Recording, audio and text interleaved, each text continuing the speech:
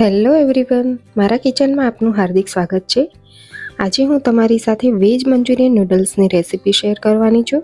તો ચાલો રેસિપીની શરૂઆત કરીએ.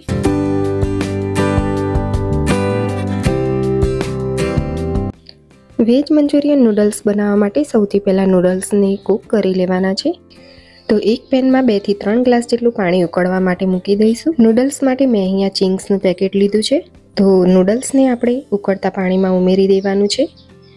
અને જોડે જ એક ચમચી તેલ ઉમેરી દેવાનું છે, જેથી નૂડલ્સ એકબીજા જોડે ચીપકી ના જાય. હવે બે મિનિટ પછી ગેસ ઓફ કરી દેવાનો છે અને ઢાંકણ ઢાંકીને પાંચ મિનિટ રહેવા દેવાના છે.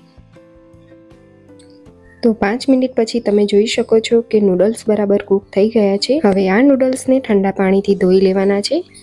અને ફરીથી એક ચમચી તેલ ઉમેરીને નૂડલ્સને આ રીતે મિક્સ કરી લેવાના છે. તો આ રીતની પ્રોસેસ કરવાથી નૂડલ્સ એકબીજા જોડે ચીપકતા નથી. હવે આપણે મંચુરિયન બનાવી લઈશું. તો મંચુરિયન બનાવવા માટે મેં અહીંયા બેથી ત્રણ ગાજરને છીણી લીધા છે અને જોડે એક મોટી કોબીજને પણ છીણી લીધી છે. તો હવે ગાજરના છીણમાં કોબીજના છીણને ઉમેરી દઈશું.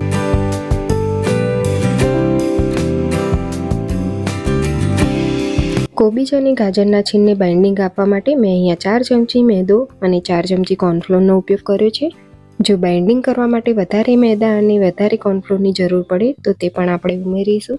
હવે એક ચમચી ઝીણું સમારેલું લસણ, બે ઝીણા સમારેલા લીલા મરચાં, એક ચમચી ઝીણું સમારેલું આદું, સ્વાદ પ્રમાણે મીઠું અને અડધી ચમચી વાટેલા મરી ઉમેરી દઈશું.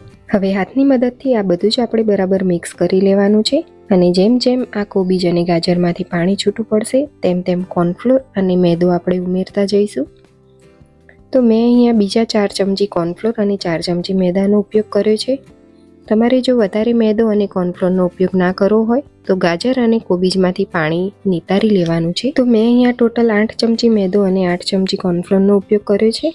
તો હવે મંચુરિયન બોલ્સ બનાવવા માટે મિક્સર તૈયાર છે. તો આ રીતના બોલ્સ તૈયાર કરી લઈશું.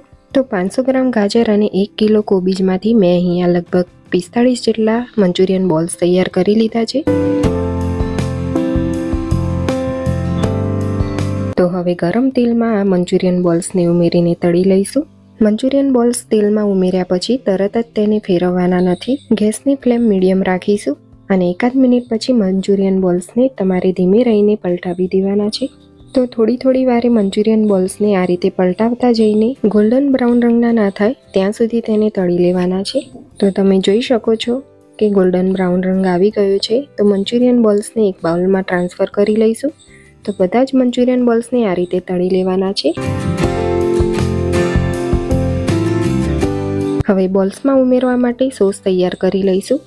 તો એક બાઉલની અંદર એક ચમચી ગ્રીન ચીલી સોસ બે ચમચી રેડ ચીલી સોસ, બે ચમચી સોયા સોસ અને ચાર ચમચી ટમેટો કેચઅપ ઉમેરી દઈશું. હવે સોસને બરાબર મિક્સ કરી લઈશું. તો આ સોસ તમે તમારી જરૂરિયાત પ્રમાણે ઉમેરી શકો છો. મંચુરિયન્સ બનાવવા માટે મેં અહીંયા ત્રણથી ચાર ચમચી તેલ લીધું છે. તેની અંદર એક ચમચી ઝીણું સમારેલું લસણ, એક લાંબી સ્લાઇસમાં કટ કરેલી ડુંગળી, એક ચમચી ઝીણું સમારેલું આદું બેથી ત્રણ ચમચી ઝીણું સમારેલું કેપ્સિકમ બેથી ત્રણ ચમચી ઝીણી સમારેલી લીલી ડુંગળી અને લાંબી સ્લાઇસમાં કટ કરેલું બેથી ત્રણ ચમચી જેવું કેપ્સિકમ ઉમેરી દઈશું. મેં અહીંયા ઝીણું સમારેલું કેપ્સિકમ અને લાંબી સ્લાઇસમાં કટ કરેલું કેપ્સિકમ બંનેનો ઉપયોગ કર્યો છે. હવે આપણે જે સોસ તૈયાર કરીને રાખેલું તે ઉમેરીને બરાબર મિક્સ કરી લઈશું. તો સોસ બરાબર મિક્સ કર્યા પછી આપણે કૂક કરેલા નૂડલ્સને ઉમેરી દઈશું અને તેને હળવા હાથે મિક્સ કરી લેવાના છે. તો નૂડલ્સ બરાબર મિક્સ થઈ ગયા છે. હવે અંદર જરૂરિયાત પ્રમાણે મંચુરિયન બોલ્સ ઉમેરી દઈશું અને તેને પણ નૂડલ્સની જોડે બરાબર મિક્સ કરી લેવાના છે. અને બાકી વધેલા મંચુરિયન બોલ્સને તમે રેફ્રિજરેટરમાં સ્ટોર કરીને બીજા દિવસે તેનો ઉપયોગ કરી શકો છો. મેં અહીંયા કોઈ પણ જાતની સ્લરીનો ઉપયોગ નથી કર્યો, કેમ કે મેં અહીંયા એકદમ ડ્રાય મંચુરિયન નૂડલ્સ બનાવ્યા છે. તો આ સમયે તમને સોસની જરૂર લાગે તો તે પણ તમે ઉમેરી શકો છો. ઉપરથી થોડી લીલી ડુંગળી ઉમેરીને સર્વ કરી લઈશું.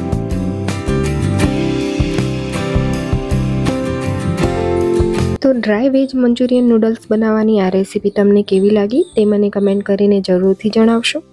મારી ચેનલને સબસ્ક્રાઈબ ના કરી હોય તો તે કરી લેજો અને જોડે બે આઇકનને પ્રેસ કરવાનું ના ભૂલતા, જેથી નવી વાનગીનું નોટિફિકેશન તમને મળતું રહે. ફરીથી મળીશું નવી રેસીપી સાથે, ત્યાં સુધી બધાને મારા જય શ્રી કૃષ્ણ.